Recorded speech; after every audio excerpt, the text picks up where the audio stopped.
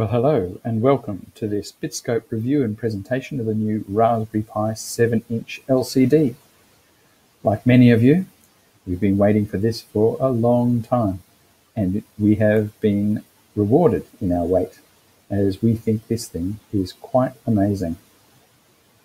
To learn more about the uh, display itself, we can recommend Alex Eames' review released yesterday, where he outlines what the display is and what it can do. Our goal is to see how we can use it here at Bitscope with Bitscope Micro and other models, and our new Bitscope blades. So we have these wall mountable and rack mountable power and uh, mounting solutions for Raspberry Pi. And we've carefully considered it, and hopefully it's going to work. We're going to find out to see that we can use it to wall mount a Raspberry Pi with a Bitscope and power it from a 12 volt battery. So without further ado, let's have a look at this new Raspberry Pi display and put it all together. So let's see what we have in the box. If we open it up, we can see the safety guide and all the multilingual information. The key electronics that Raspberry Pi Foundation and Gordon's team have been working on. The driver board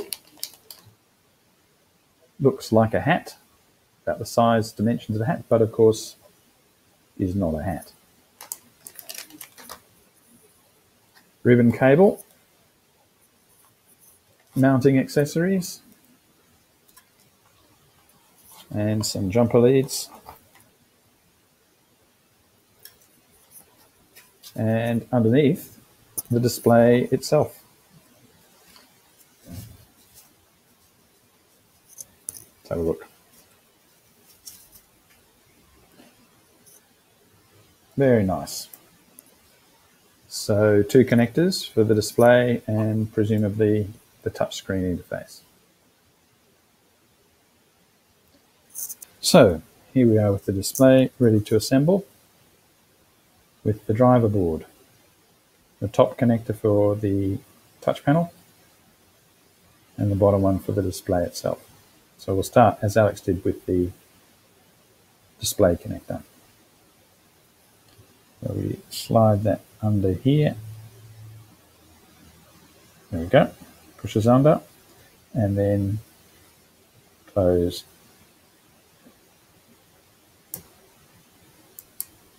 click it together like so.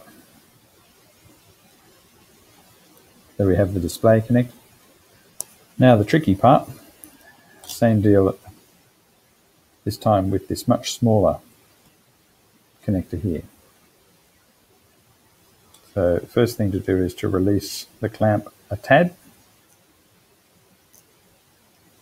and then very gently ease the connector the cable into the connector.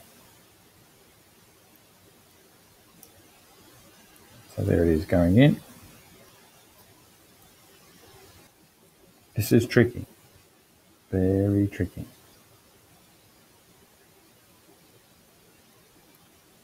Actually, what we might do is mount it and then try and put the clip on.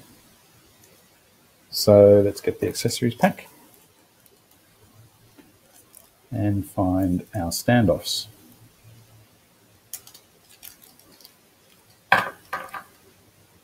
There we go. Screw that in there. And another one in here.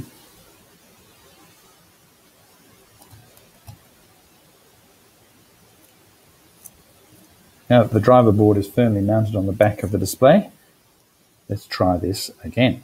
So if we insert the touch layer connector like so, and then put our clamp over the top. So just to be sure that we've actually got this working right, let's have a close look at this. Yeah, that looks like we're actually connected. I must say that was a very tricky step and a fiddly one. So just take care that you're working in a space where if the clamp pops off, you don't lose it in the carpet or something. So here at the last step where we connect our Raspberry Pi to the display. First step is to open the connector at the end, just like the other ones. And with the ribbon cable that's supplied, here it is, with the metal pins exposed facing up, we gently insert that like so into the connector. Okay? And then clamp it shut. Done. Next, we get the Raspberry Pi, which is going to mount on the top like so. This is where we will diverge a little bit from Alex's introduction and mount the Raspberry Pi on the back because we have plans for this. So open up the connector here and fold the ribbon cable in and around and down. There we go. Now, instead of using the four supplied screws, we're going to use some extender standoffs, like so. Just like the ones that came with the display, although these ones are nylon. Screw them in the top here.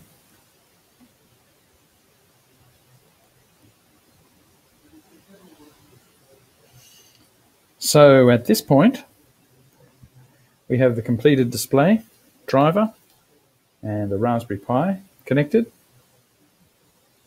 Very nice. Ready to test, although not quite. And here's why. Before you can use your Raspberry Pi with this display, you need to update the software. This is fairly easy to do. So running on a machine we call Donald, we need to run sudo apt get update. And this will go and update our repository. And just cutting to the end, we are done. Then we need to do the same thing, sudo apt get upgrade. This will pull in all the latest packages which I'm presuming will be the driver packages.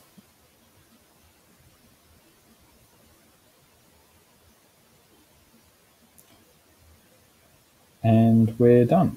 So now we need to reboot the machine. Close this and shut down, reboot, and let's see how we go. We're ready to go but we need to power the Raspberry Pi and the display. And there's two ways or three ways that Raspberry Pi tell us to do that. You can power them separately. You can power them with a connecting USB cable, or you can power them with some jumper strip, jumper wires, which is what we're going to do. If you have a look at their page here, you can see they've connected them from the Raspberry Pi power pins through to the same pins on the display driver board. We're going to do the same thing with a twist. So we'll get our ground connected here and our 5 volts connected here. But we're not going to connect them up to the Raspberry Pi. Here's why. Instead of using a USB power, we're going to use one of our new Bitscope Blade boards. This one is DuoPi. As you can see, it's got room for two Raspberry Pis. And up the end here, a very powerful regulated power supply. Instead of needing a 2 amp 5 volt USB power adapter, you simply need anything from about 7 volts to 48 volts plugged into here, and you can power your Raspberry Pi. So here's how it works. we'll get our display and Raspberry Pi and plug them on like so. There we go. And then down on the board down here, we have 5 volts. And we have ground. And we're ready to go. Now for the final assembly. The first step is to bolt the back on. So we will get some screws and screw them the back of the Duo Pi to the Raspberry Pi.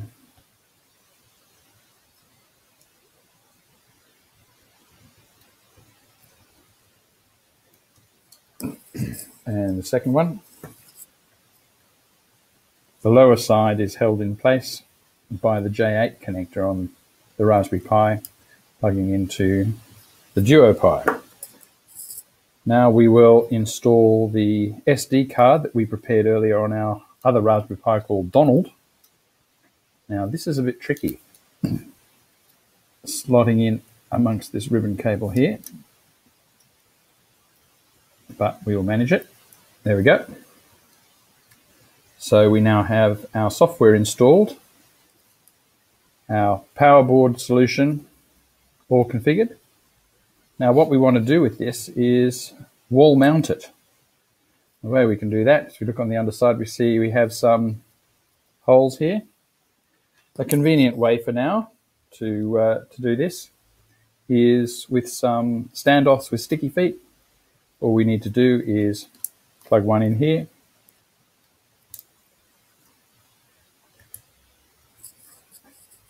In each one. There we go. And we now have a standalone wall mountable self-powered display system for Raspberry Pi. So let's give it a go. Okay, so here we are with our camera pointed at the wall. And here's our final assembled unit, which we're going to stick just there. Position it on the wall, like so.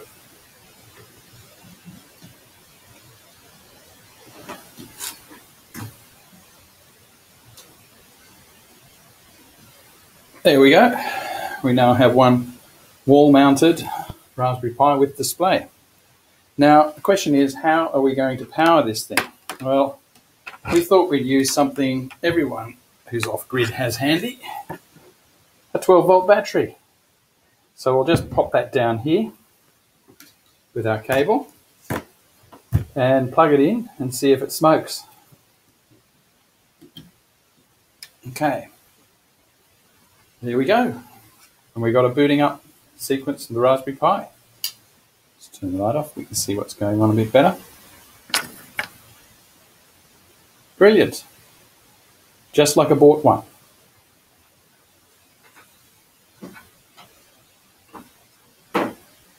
And there we are. We have the complete Raspberry Pi set up with our Bitscope Pi software, which is basically a slightly modified version of Raspbian. Let's see what we got in here. Uh, let's try Bitscope Meter. There we go. Perfect. Now, if we get a Bitscope, let's see if this is going to work. We've got a Bitscope Micro, again, for set up for country use, let's say, off-grid, waterproof, in some 20 millimeter industrial PVC tubing with a uh, BNC adapter for one of the channels on the front, USB port on the back. So if we just reach in behind and plug it in, there we go. It's now powered. Now we'll use a signal from signal generator here, just a little contraption, and we'll connect it up. There we go. And let's see if we can make this thing work.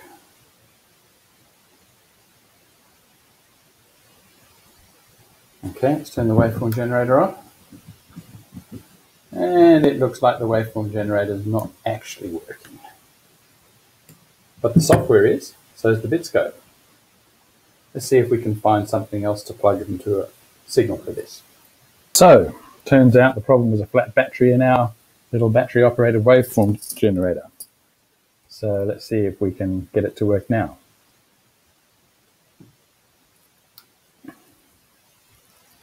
There we go.